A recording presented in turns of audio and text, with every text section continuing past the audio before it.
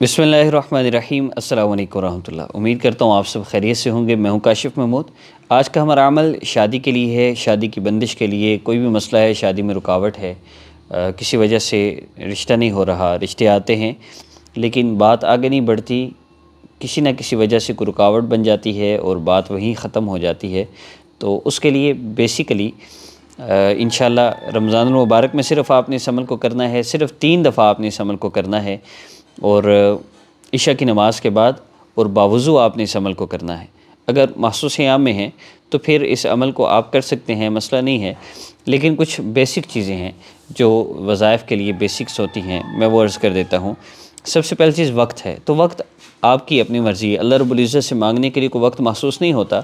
हम वक्त इसलिए बताते हैं, क्योंकि अल्लाह रबुल्ज़त सॉरी यकसोई के लिए सिर्फ़ वक्त बताया जाता है, यानी ईशा की नमाज़ के बाद जो वक्त बताया जाता है, ये वो वक्त है जिसमें आप बहुत आसानी के साथ तसल्ली से बैठ के आप वजीफ़ा कर सकते हैं। दूसरी चीज़ जगह के हवाले से तो बहुत से लोग जगह के हवाले से भी बहुत परेशान रहते हैं तो परेशान होने की बिल्कुल ज़रूरत नहीं। आप जहाँ मर्ज़ी बैठ के वजीफ़ा करें, मुसल्ले पे बैठ के करेंगे तो वो बेहतर है।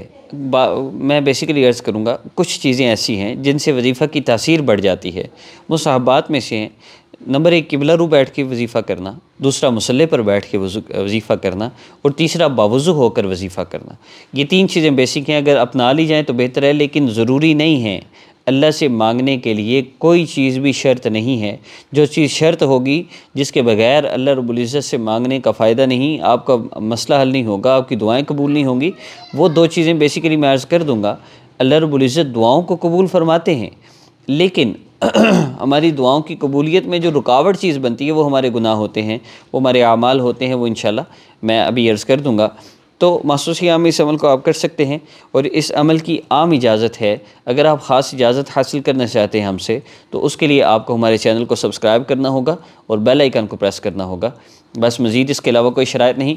आप बढ़ते हैं अमल के तरीके की तरफ़। अमल का मेथड तो बेसिकली अमल की इजाज़त के लिए मैंने आपको तरीका अर्ज़ कर दिया है। हमारी वीडियोस को दोस्तों तक शेयर ज़रूर किया करें। अल्लाह रबुल्ज़त से मसाइल हल करवाने के लिए हमारे वज़ाइफ बहुत आसान होते हैं। अब बात करते हैं इस अमल के तरीके के हवाले से। इस अमल का तरीका। तो इस अमल में आपने दो रक नफल, किसी भी वक्त जो भी आप वक्त डिसाइड करेंगे, तीनों दिन आपने उसी वक्त अमल करना है। दो रक नफल, हाजत की नीयत से आपने पढ़ने हैं। उसके बाद आपने अल्लाह रब्ज़त के इसमें मुबारक, या लतीफ़ हो या अल्लाह जल्ल जलाल हो दस मरतबा आपने पढ़ना है। फिर उसके बाद आपने दुआ करनी है। अब दुआ का तरीका मैं लिख देता हूँ। दुआ का तरीका है, दरूद, तीन मरतबा, दरूद पाक पढ़ना है। फिर, या अरहमर्राहिमीन आपने इसको तीन मरतबा पढ़ना है, या अरहमर्राहिमीन तीन मरतबा आपने इसको पढ़ना है, फिर उसके बाद आपने दुआ करनी है, कम अज़ कम पाँच मिनट। देखिए, अगर दुआ नहीं होगी नफल, ये मसाइल का असल हल है। या लतीफ़, या अल्लाह का ज़िक्र। ये तो अल्लाह को पुकारने का एक ज़रिया है। आप अल्लाह को पुकार रहे हैं, अल्लाह की अजमत और बड़ाई बयान करने की नीयत से, फिर आप अल्लाह से दुआ करते हैं। दुआ में आपने अल्लाह रबुल्ज़त को अपना मसला बताना है। जो जो परेशानियाँ हैं, जो तकलीफ़ें हैं, रिश्ता ना होने की वजह से आपके साथ जो लोगों का बिहेव है, और जो बातें आपको सुनने को मिलती हैं, बताइए अल्लाह रबुल्ज़त को कि अल्लाह जी, मेरे साथ ये ऐसे हो रहा है, ये लोग ऐसे करते हैं। अल्लाह से फिर दुआ करनी है आपने। अल्लाह पाक को अपने दुखड़े सुनाएँ नहीं समझ आती, लंबी दुआ कैसे करनी है? तो जो अल्लाह की नेमतें हैं, उनका शुक्र अदा करें। फिर दुआ करें, प्यारे अल्लाह, आपने इतने एहसानात फरमाए।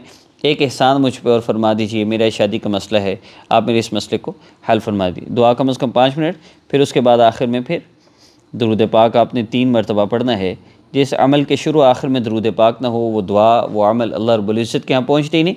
तो इस दुआ के, दुआ अल्लाह रबुल्ज़त के यहाँ नहीं पहुँचती। इसलिए दुआ के शुरू और आखिर में दरुद पाक आपने लाजमी पढ़ना है। और शराइ जो मैंने बेसिक अर्ज़ की, जिन पे अमल ना करने की वजह से अमल की तासीर नहीं मिलती, अमल का फ़ायदा नहीं होता तो उनमें पहली चीज़ नमाज़ की पाबंदी और दूसरा है गुनाहों से बचना। सॉरी तो ये दो काम आपने करने हैं, नमाज़ की पाबंदी और गुनाहों से बचना। बहुत से लोग ऐसे हैं जो बहुत कोशिश करते हैं, गुनाहों से बचना मुश्किल होता है तो पिछले पाँच साल से कुछ ऐसे अमाल जो हम व्हाट्सएप पर लोगों को करवाते हैं, जिनके करने से अल्हम्दुलिल्लाह गुनाह छूट जाते हैं, अल्लाह रब्बुल इज़्ज़त की मोहब्बत मिलती है। उसके लिए आप हमारे इस व्हाट्सएप नंबर पर रबता करके हमसे कोर्स करें। चेंज योर लाइफ के नाम से हमारा कोर्स है। उससे अल्हम्दुलिल्लाह मसले भी हल होते हैं, दुआएँ भी कबूल होती हैं, अल्लाह की मोहब्बत भी मिलती है। और जिसको अल्लाह की मोहब्बत मिल जाए, उसका मसला कोई कैसे रह सकता है?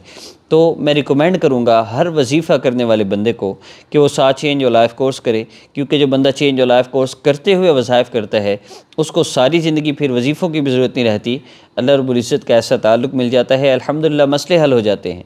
तो आप भी हमसे हमारे व्हाट्सएप नंबर पर रबता। बहुत से लोग ऐसे हैं जो चाहते हैं हमें अल्लाह की मोहब्बत मिल जाए, हमें अल्लाह रबुल्ज़त का ताल्लुक़ मिल जाए तो उनके लिए भी ये बहुत फ़ायदा मंद है। अल्हम्दुलिल्लाह, इस कोर्स से अल्लाह की मोहब्बत, अल्लाह का ताल्लुक़ मिलता है। आप ये मुकम्मल वजीफ़ा देख रहे हैं, आप इसका स्क्रीन ले सकते हैं आखिर में, और इस साजिश को अपनी दुआओं में याद रखिएगा। असल वरहमल